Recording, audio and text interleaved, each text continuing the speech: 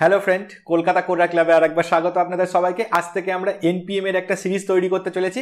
আর এটা হচ্ছে first video আজকে আমরা জানব what is N P M তো এনপিএম হচ্ছে নোট প্যাকেজ ম্যানেজার এবার এই এনপিএম দিয়ে কি করে? এনপিএম দিয়ে ওয়েব ডেভেলপমেন্টগুলোকে করা যায়। আপনি বলবেন যে, আমি তো এনপিএম না জেনেও ভালোই ওয়েব পেজ তৈরি করছি, তাহলে আমি আবার এনপিএম জেনে কেন আবার ওয়েব পেজ তৈরি করতে যাব? হ্যাঁ ঠিক কথা। ভাবুন, আপনি আজকে একটা প্রজেক্টে একা রয়েছেন, ঠিক আছে? তো এই প্রজেক্টের মধ্যে হওয়া সমস্ত প্রবলেমগুলো আপনার একার হেডেক তাই তো? এবার কেমন হবে? যদি আপনি দুজন হেল্পার পেয়ে যান আপনার এই একই প্রজেক্টে তো অবভিয়াসলি এটা ভালো হবে। আর যদি এরকম হয় যে ওই দুজন যে হেল্পার তারা খুব এক্সপিরিয়েন্স একজন লোক, আপনি যে সমস্ত প্রবলেমগুলো পড়ছেন সেই সমস্ত প্রবলেমগুলো ফিক্স করার এক্সপিরিয়েন্স তাদের অলরেডি রয়েছে, ঠিক আছে? তাহলে পরে এর থেকে ভালো তো আর কিছু হতে পারে না, তাই না? তো এনপিএম ব্যাপারটাও খানিকটা সেরকম। কীভাবে? চলুন সেটা আলোচনা করা যাক। এনপিএম এর মাধ্যমে পৃথিবীর সমস্ত ডেভেলপাররা তাদের কোডকে রিউজ করার জন্য শেয়ার করে। আর এই রিইউজেবল কোডগুলোকে আমরা মডিউল বা প্যাকেজ নামে চিনি।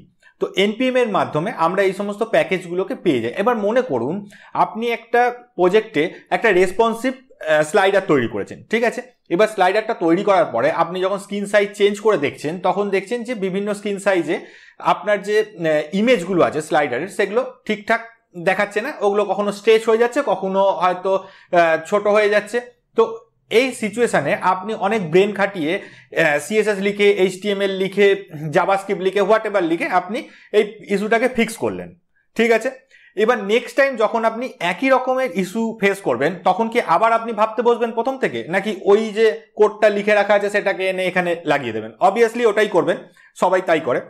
তো এই যে রিউজেবল কোড এটাকেই আমরা মডিউল বা প্যাকেজ নামে চিনি। তো মডিউল বা প্যাকেজ কিছুই না, একটা রিউজেবল পিস অফ কোড ঠিক আছে? বোঝা গেছে?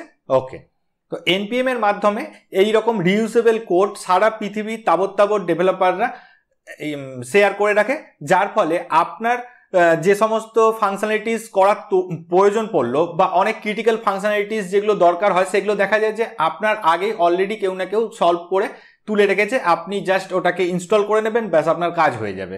তো বোঝা গেছে, আপনি একা কাজ করেও কখনোই একা থাকবেন না, পৃথিবীর সমস্ত তাবর তাবর ডেভেলপারদের আপনি সবসময় আপনার পাশে পাবেন। তাহলে এরপরে আপনি এনপিএম কেন ইউজ করবেন না? এইবার যদি আপনি এটা বলেন যে ঠিক আছে, কোড যখন আছে, খুব ভালো কথা, আমি সেটাকে তো কপি করেও নিয়ে এসে আমার প্রোজেক্টে পেস্ট করে দিতে পারি। তো তার জন্য আমাকে এনপিএম ইনস্টল করারই প্রয়োজনীয়তা করতে হয়। এই যদি কোশ্চেনটা করেন, তাহলে আমি আপনাকে এনপিএম এর সঠিক মজাটা কোথায় সেটা আমি বোঝাতে পারব। ব্যাপারটা হচ্ছে এরকম, যখন একটা পিস অফ কোড আপনি নিয়ে এসে আপনার প্রজেক্টে অ্যাড করবেন, তখন সেই কোডের কিছু ডিপেন্ডেন্সি আছে। ডিপেন্ডেন্সি মানে সেটা চলার জন্য হয়তো আরেকটা কোনো মডিউল দরকার হয় বা আরও কিছু জাভাস্ক্রিপ্ট কোড আছে বা কোনো লাইব্রেরিকে হয়তো সেটা কল করছে। তো সেই সমস্ত জিনিসগুলোকে আপনাকে কপি করে নিয়ে আসতে হবে অবভিয়াসলি আপনার ওই কোডটা কাজ করার জন্য। এবার যখন আপনি ওই কোডগুলোকে কপি করে নিয়ে আসবেন, তখন আমরা রিয়েল লাইফে দেখি এরকম প্রবলেম হয়ে যায় যে আমাদের কোডগুলো কখনো কনফ্লিক্ট করে। একটা কোডের সঙ্গে আরেকটা কোড কনফ্লিক্ট করে যায়, অন্য কোডটা হয়তো কাজ করছে না বা সেই কোডটাই কাজ করছে না বা কখনো আমরা আগে পরে লিখে ফেলি ডিপেন্ডেন্সি সুতরাং এই যে ডিপেন্ডেন্সি রিঅ্যারেঞ্জ এই ব্যাপারটা থাকে। কখনো ভার্সান মিসম্যাচ করে যায় ভার্সান চেঞ্জ করতে হয়। তো নানা রকম হেডেক থাকে। এটা প্রচুর টাইমের ব্যাপার এবং সেই ডিপেন্ডেন্সিগুলোকে ম্যানেজ করতে গিয়ে দেখা যাবে আপনার কোড কপি করে আনার থেকে বেশি সময় ওখানে চলে গেছে। ওগুলোকে ডিপেন্ডেন্সি ম্যানেজ করতে। এনপিএম এর মজাটা এখানেই যে আপনাকে এই সব নিয়ে চিন্তাই করতে হবে না। আপনি জাস্ট এনপিএম ইনস্টল প্যাকেজ নেমটা আপনি দিয়ে দেবেন। তার ফলে কি হবে? এনপিএম নিজেই সমস্ত কিছু কন্ট্রোল করবে, সমস্ত কিছু ম্যানেজ করবে। যে ভার্সানটা আপডেট হয়ে গেছে সেটাকে আপডেট করতে হলে করবে, তার জন্য যদি অন্য কোনোটাকে আপডেট করতে হয় সেটা করবে, যদি আপডেট না করার প্রয়োজন হয়, না করবে মানে যাবতীয় যা কিছু ম্যানেজ করার ব্যাপারটা সমস্তটা এনপিএম বুঝে নেবে। আপনি just NPM install package name লিখেই খালাস আপনাকে একটা রেডি টু ইউজ কোড আপনার কাছে দিয়ে দেবে। বোঝা গেছে? তো এই জন্য আমরা এনপিএম এর দিকে ঝুঁকে পড়ছি এবং এনপিএম এর থ্রু দিয়ে আমরা আমাদের প্রজেক্টকে তৈরি করছি, তার ফলে আমরা যদি কিছু নতুন কিছু করতে পারি, আমরা যদি ইচ্ছা করি সেটা আমরা এনপিএম এর লাইব্রেরিতে রেখে দিতে পারি, সেখান থেকে আরও দশজন আমার ওই কোডটাকে নিয়ে ইউজ করতে পারে, তারা চাইলে সেটাকে মডিফাই করতে পারে, ঠিক আছে? তো এইভাবে আপনিও নিজে এনপিএম এর মাধ্যমে প্যাকেজ তৈরি করতে পারেন প্যাকেজকে ডাউনলোড করতে পারেন প্যাকেজকে মডিফাই করতে পারেন। বোঝা গেছে এত অবধি এনপিএম এর কাজ? ঠিক আছে। তো আশা করছি এতক্ষণে আপনাদের কাছে আমি এনপিএম কি এবং তার প্রয়োজনীয়তাটা কোথায় সেটা আমি নিশ্চয়ই বোঝাতে সক্ষম হয়েছি আপনাদেরকে। তো যদি বুঝে গিয়ে থাকেন, তো খুব ভালো।